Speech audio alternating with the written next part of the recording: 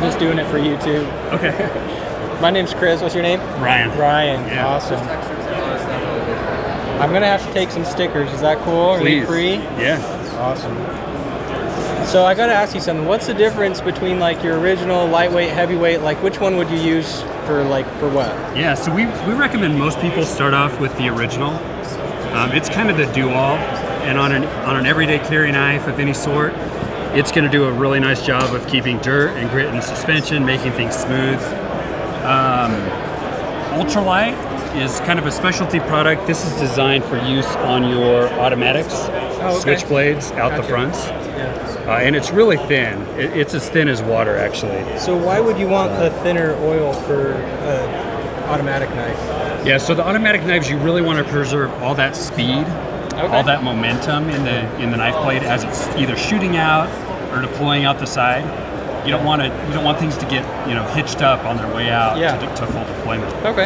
And then heavy is a, a really thick version, uh, almost almost a gel-like consistency, Oh wow. and that's designed to stay on your detent ball and detent track Oh, okay, of the cool. knife. So I just add that to you know just the detent ball in there. Uh, where it'll stay put on It'll there and, there. and give you good gliding friction. Awesome. Yeah. Get over that detent.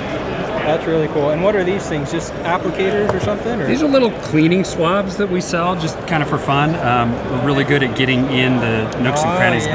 of the knife. Yeah, sometimes I try and use a Q-tip, and for some knives Yeah. it's a little too thick to get in there. So the, the tip is actually one millimeter under all the fuzz, so you Yeah. can really, really get awesome. into the internals. Yeah. Yeah. So, what do you think um, sets KPL apart? I know KPL, everybody knows KPL, but what sets you apart from some of the newer leads that are coming onto the market? Yeah, I, of course, I think all those products are good. Um, we really try to focus, you know, not on some magical additive that's going to, you know, revolutionize. We, we focus on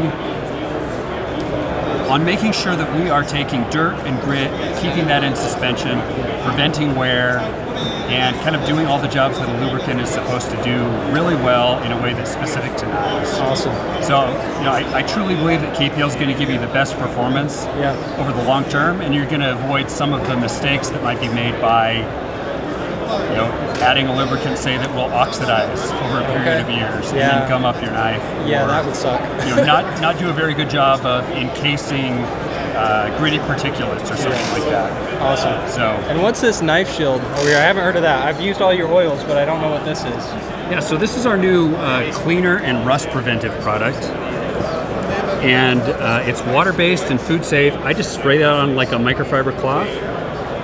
And then I wipe down my knife blades. Oh, okay. Sweet. And it, it takes off tape gunk kind Yeah. of like really instantly. It leaves behind a finish that you Yeah. can't feel or see, but will prevent rust and pitting from setting okay. in, especially on your carbon steel blades and Yeah. things like that. That's So- cool. So I've used like all kinds of just cheap oils at home for that, Yeah. like mineral oil or I don't know what else. But what's what's exactly in this one? So it's uh, it's a it's a galvanic inhibitor is, is what it is. Okay. It's an anode an anodic suppressor. It it prevents those electropotentials from growing on the surface of the blade. And that's typically what initiates the rusting process. It's like a difference in electropotential between like grain boundaries on the knife surface. Yeah. Um, anyway, kind of technical, but It's a lot higher tech than just like my olive oil or mineral Yeah. oil or something like that. yeah, those are great because they, they exclude water. Yeah. This is good because even if water or you know salts get on the surface of the blade, it's going to disrupt that galvanic process that kicks off the Okay. the rust cycle. Is it food safe? It is. It is food safe. Okay, cool. Yeah, because I use Uh, a lot of times my folder I've used for food stuff. So Yeah, all the ingredients are H1 certified. So even in like a commercial kitchen, you're good to go. how much do those bottles cost? These uh, on our website they're 17, um, 20 here at the show. Okay, sweet. Right on. Well, thanks, man. I appreciate your time. You're awesome.